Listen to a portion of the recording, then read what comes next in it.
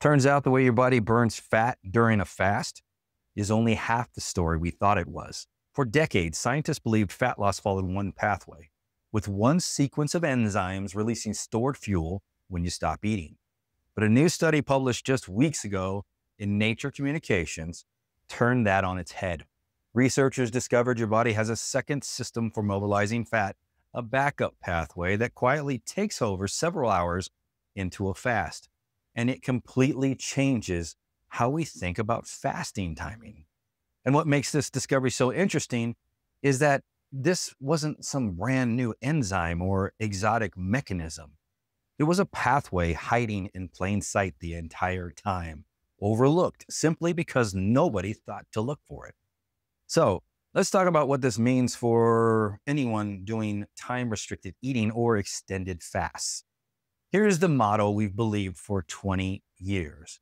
When you fast, your body needs access to stored fat, right?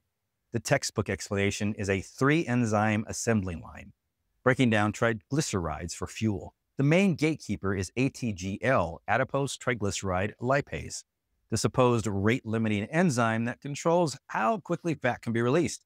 When you eat, insulin keeps ATGL quiet. When you fast or when adrenaline rises, ATGL wakes up, clips fatty acids from triglycerides, and hands them off to HSL and MGL to finish the job. This appears in every biochemistry course, every nutrition textbook, every paper on lipolysis. And the reason this model has stuck around for so long is that it worked great. In short term fasts and in exercise scenarios, ATGL clearly dominated. It made the entire system look linear, predictable like fat burning was controlled by a single on off switch.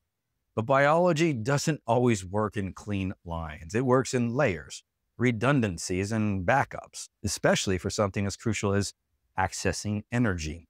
Now, entering the 2025 University of Pittsburgh study, researchers analyzed human adipose tissue from seven participants in a tightly controlled 10 day controlled fast, not self directed fasting at home, but an actual clinical setting where every factor is monitored. They looked at gene expression throughout the fast and saw something a little unexpected.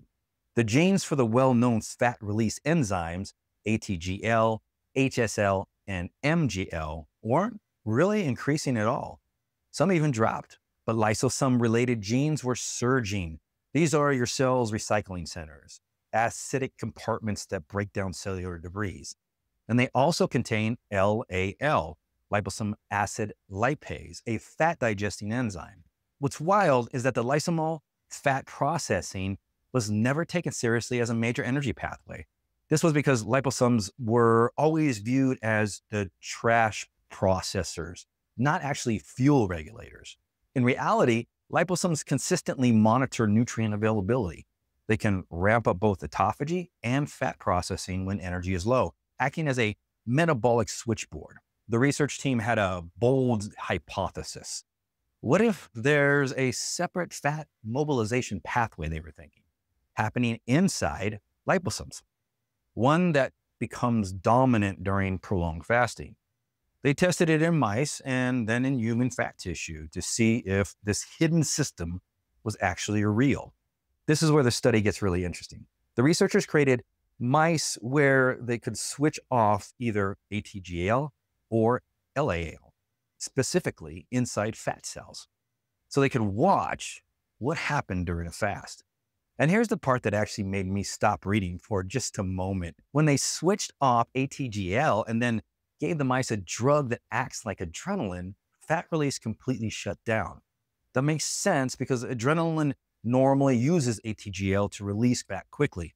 So when ATGL is disabled, that fast response system can't work.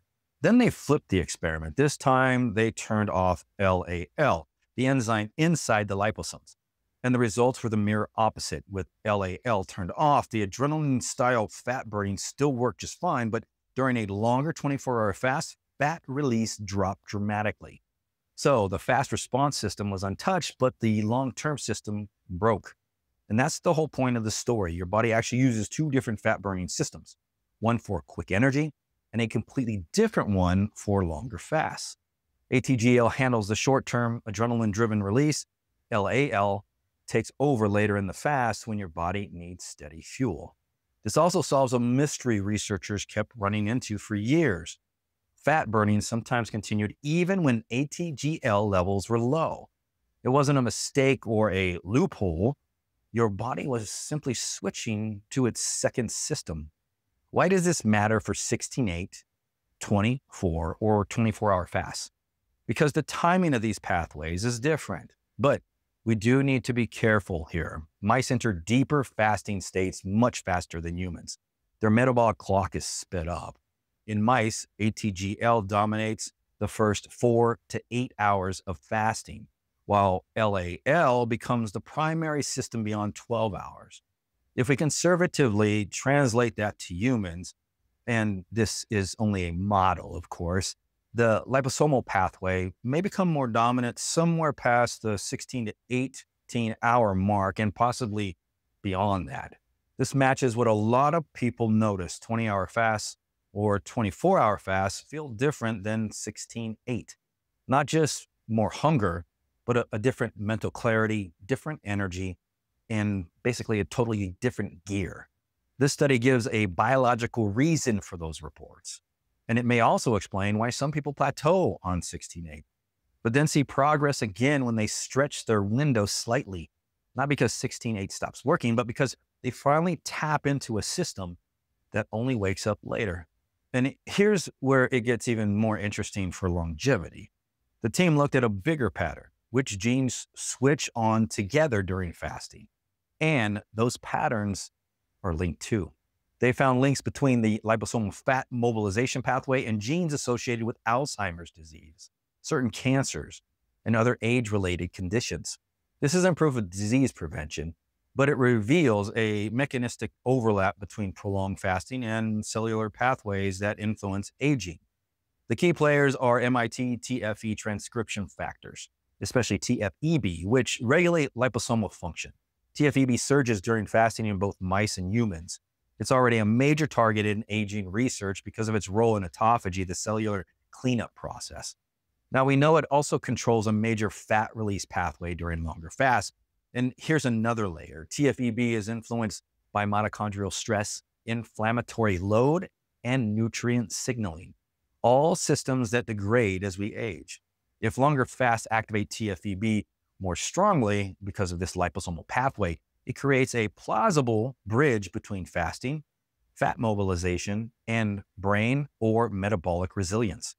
But here's what this study does not say. It doesn't say shorter fasts are ineffective. ATGL works perfectly at 12, 14, and 16 hours. And it does not identify the optimal fasting duration for humans as of yet. We need controlled trials for that.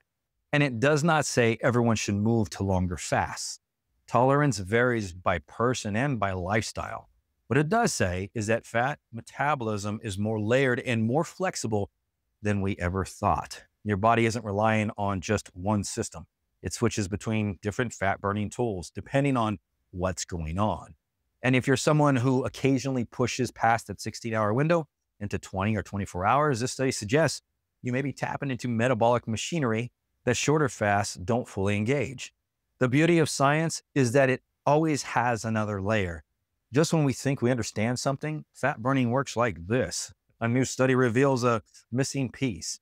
This paper was published in February 2025, and it's going to reshape how researchers think about fasting, fat mobilization, and possibly therapeutic fasting protocols.